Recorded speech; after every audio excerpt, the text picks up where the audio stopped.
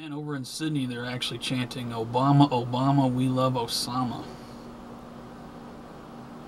What's going on, guys? It's Saturday, September 15th, 2012. Are we seeing the beginning of the SHTF? It sure looks that way. What do you think is really going on here? I find it hard to believe that this is all over a, a video insulting Muhammad or whatever. I haven't seen the video. I well, I, I really don't care about the video. I, I think that's complete nonsense. My opinion, the video may have been the spark, whether or not it's a CIA uh, operation or not. I don't know, but whatever, what whoever is responsible for it. It, it seems to have been the spark that has set off. Um, all you got to do is turn. I mean, there's too many stories to link you to. I'll link you to this one story here that I just uh, went over. Uh, police gas Sydney protesters. Uh, pull it up and watch the video. It's only a couple minutes long. The news report, what's going on in Sydney today. Uh,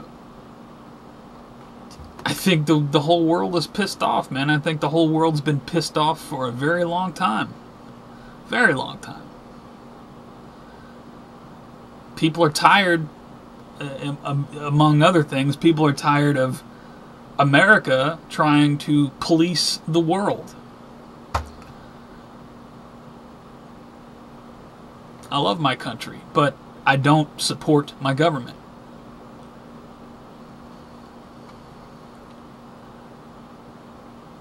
I've watched over the years as, as my government has has sought to uh, police the entire planet. We're flying our drones over all these countries. I mean, what happens if these countries fly their drones over our country? Are these countries not allowed their sovereignty? What gives us the right to play world police. The world is about to hand our ass to us. I believe that's what's going on. I believe people have just simply had enough. But uh, not only of the United States, of because it's not. This is not. People might not fully see it, but this is not a United States problem. This is a New World Order problem. You know, it's not the people of the United States doing this. It's the people of the United States allowing it to go on because most people don't care as long as they can have their freaking their new iPhone and play with their Facebook and have their American Idol. They don't give a damn about what the government's doing.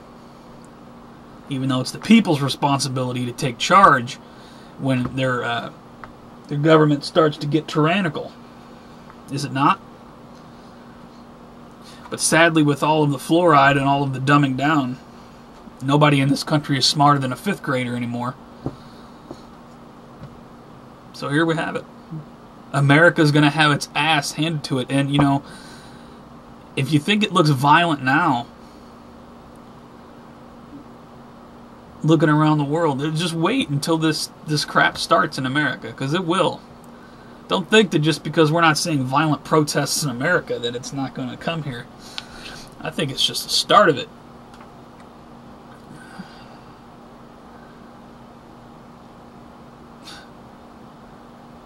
I feel sorry for our first responders in this country. Because it's when it starts here, it's my belief it's going to come completely unglued. And nobody's going to be able to stop it. I think the New World Order is just going to step back watch people kill each other.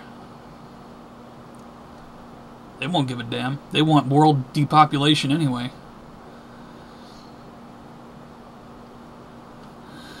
You know, there's a there's a thread over here, one of many, hundreds of threads going around the internet right now. Behead those who insult the prophet. Put a link to it. Really? See, this is this is the moment in time where I am damn proud that I could say that I'm an agnostic, that I don't follow any belief system. I follow the belief system that I don't know. That's the belief system I follow. And because of that, I don't get insulted when somebody says something about God or Jesus or Muhammad or the God, the goddess. I don't I don't get insulted by that kind of stuff. I don't care. It means nothing to me because I don't believe. I believe that I don't know.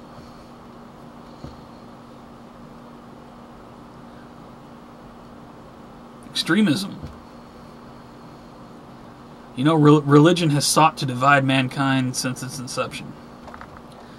And that's true whether you're a Muslim or whether you're a Christian. Let's be fair. You know, because, and I'm friends with a lot of Christians. I'm friends with some Muslims on here. I have no problem with either. I have no problem with atheists. I'm friends with Wiccans, with different uh, pagan groups. Because, see, I admit to myself, to thine own self be true. I admit to myself that I don't know the answer. I don't. I don't think that my maker, whoever or whatever it is, wanted me to know. I think different cultures around the world were given different books and said, this is the way it is and it's no other way, and you're going to believe this or you're going to burn in hell or whatever's going to happen to you. That's dangerous, man. That is dangerous. And this, what you're seeing now is the result of that. The brainwashing, the programming. And to the Christians, you know, you might look at the Muslim world and say, uh, these people, this is completely wrong and what they believe is wrong. Guess what? They say the same thing about what you believe. I don't want to insult anyone, but you're exactly the same. You are just as extreme as they are. Because you're not open minded enough to see it a different way. To a lot of people, the Bible, this is this is the be all, end all, there's no other way, and this is it, this is God's word, and this is the way it is. If you stepped outside of that box and just looked at yourself from the point of view of an open minded person, you would see how extreme that sounds. I'm blessed that I don't believe that way. I'm blessed I don't have that belief system. I believe in the universe. I love the universe. The gods, the goddesses, whatever. Whatever it is. I don't know what it is, but whatever it is, right on. I love the fact that I can admit that I don't know. And I don't trust any man's book. No matter who or what you say that book came from, I don't care. I don't trust it. Because I don't know.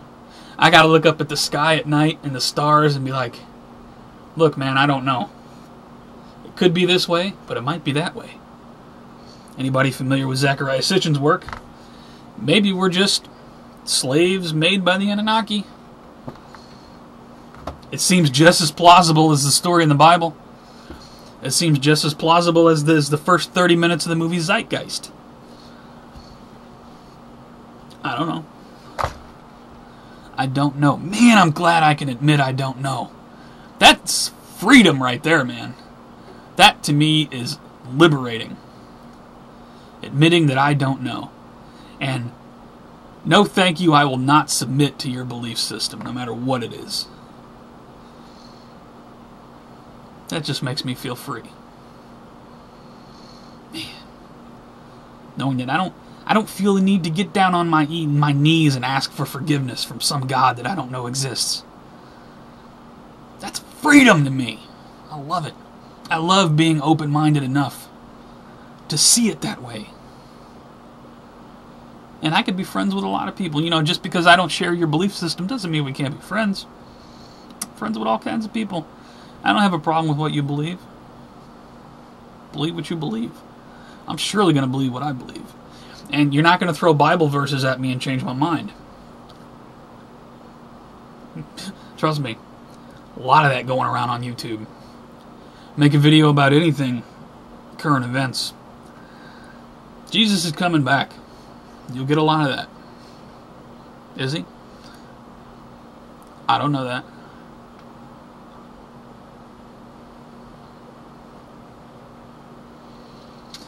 The Bible prophetic? Yeah. It appears we're seeing the book of Revelation play out right now. I'll admit that. But maybe the people who really gave us that information knew that it would end this way. Maybe this has happened several times. How do you know? How do you know how many times it's actually repeated itself? You don't know because you weren't here. Maybe this has happened hundreds of times.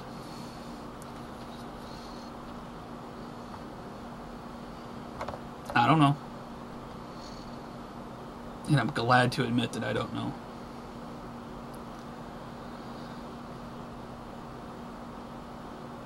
You know, this, this video may, I may gain friends or lose friends. I may gain subscribers or lose subscribers. It doesn't really matter. That's not the point. The point is, to thine own self be true. This is me. This is what I believe. I believe that I don't know. But we'll watch the extremism. We'll watch the world come unraveled. Nothing I can do about it. Sit back and watch this foolishness. We'll sit back and watch mankind come undone. Tell you what. I don't know. But no matter what you believe, I love you anyway. You guys have a good weekend.